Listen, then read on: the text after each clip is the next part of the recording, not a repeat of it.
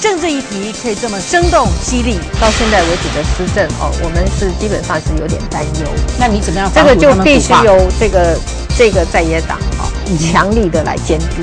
教育民生可以如此积极鼓舞，在现在这个竞争这么激烈的时代，整个的公务人员的心态跟不上，很不景气的时候哈，人力资源管理是更重要的。以事一文，深度追踪，温馨有趣。